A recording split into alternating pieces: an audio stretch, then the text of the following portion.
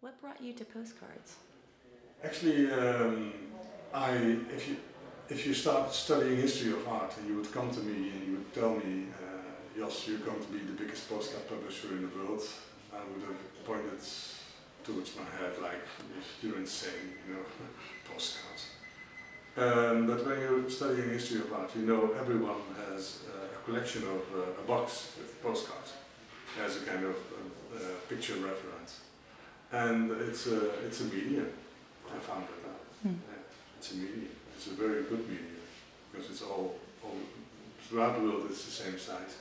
You can have uh, the picture on the one side, and you can have all the uh, requirements, uh, copyright-wise and information-wise, on the back of the postcard.